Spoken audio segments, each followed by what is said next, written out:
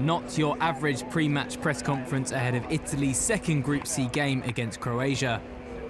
After being asked by an Italian reporter if he thought there might be some undeclared homosexual players on the team, forward Antonio Cassano was far from diplomatic in his response. If I think about what I could say, you know what could happen. That's their problem. They're gay.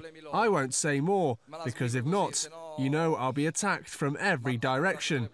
They're gay. It's their problem. I hope there aren't any in the national team.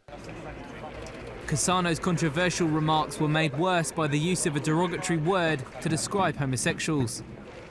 Italy already have one trouble magnet in striker Mario Balotelli, but Cassano was quick to defend his partner in crime. Today you only talk about Balotelli. Okay, let's talk about Balotelli. I have a great relationship with Mario. They told me, you should be his tutor. Can you believe it? I should be his tutor. And who looks after me? I don't know. I have a great relationship with him, both on and off the pitch. Sure, we can improve, and we have to. We never played together after all, just a couple of matches. We can only improve from where we are.